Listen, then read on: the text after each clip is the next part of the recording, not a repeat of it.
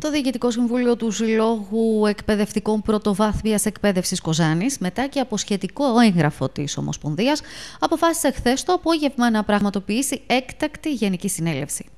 Η εκδήλωση πραγματοποιήθηκε στην αίθουσα του 18ου Δημοτικού Σχολείου Κοζάνης, παρουσία του Γενικού Γραμματέα της ΔΟΕ, Σταύρο Πετράκη.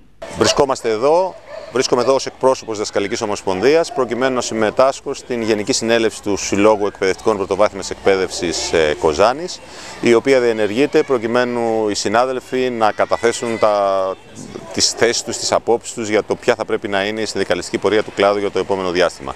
Τα σχολεία έχουν πάρα πολλά προβλήματα, πάρα πολλές δυσκολίες. 45 μέρες περίπου μετά την, την έναρξη των μαθημάτων υπάρχουν ακόμα στα σχολεία κενά. Προχωράει εκτεταμένο ε, πρόγραμμα συμπτύξεων συγχωνεύσεων σχολικών μονάδων. Πολλοί μαθητές αναγκαστούν να αλλάξουν τμήμα στη μέση της χρονιάς.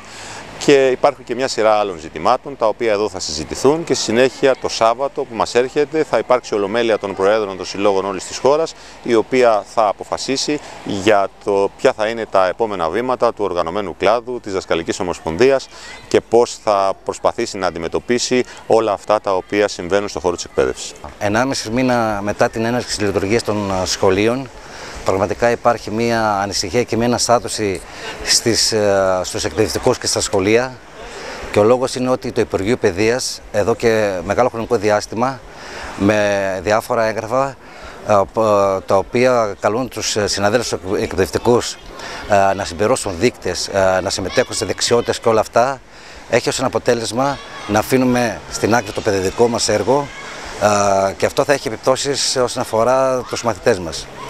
Εμείς αυτό που θέλουμε και το έχουμε δείξει σε όλο το διάστημα της πανδημίας ότι προσπαθήσαμε να στηρίξουμε το δημόσιο σχολείο ε, με την τηλεκπαίδευση, με δικά μας μέσα. Προσπαθούμε και τώρα εν μέσω πανδημίας εφαρμόζοντας όλα τα υγειονομικά πρωτόκολλα ε, και νομίζω ότι το Υπουργείο Παιδείας πρέπει επιτέλους να σκύψει σοβαρά στα προβλήματα της εκπαίδευσης. Να πούμε εδώ ότι ζητάμε την μείωση του αριθμού σε 15 ανατάξει ε, διότι θεωρούμε είναι ακόμη πιο επιτακτικό σήμερα εν μέσω πανδημίας. Όπως επίσης ε, μόνιμες καθαρίστριες καθ' όλη τη διάρκεια ε, του σχολικού προγράμματος να δοθούν άμεσα κονδύλια τα οποία χρειάζονται αυτήν την περίοδο σχολικές μονάδες.